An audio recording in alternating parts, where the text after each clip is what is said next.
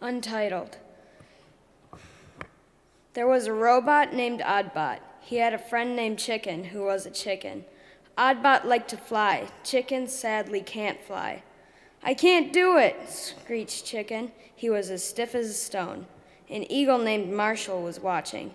Come with me then, squawked Marshall. He snatched up Chicken. Now just flap your wings, he said. Ah! screamed Chicken. Marshall, why are you doing this? bellowed Oddbot.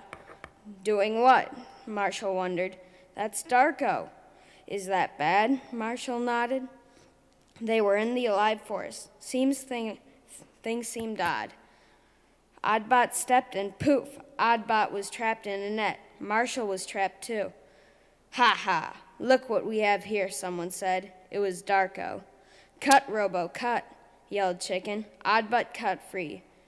Oddbot cut Ma- Marshall's net too. Marshall squawked.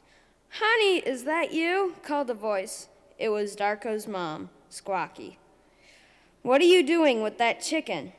Darko let go of the chicken, and Marshall flew away with him. Darky, you are in so much trouble, Squawky raged. She waved. See you, robot kid and other birds.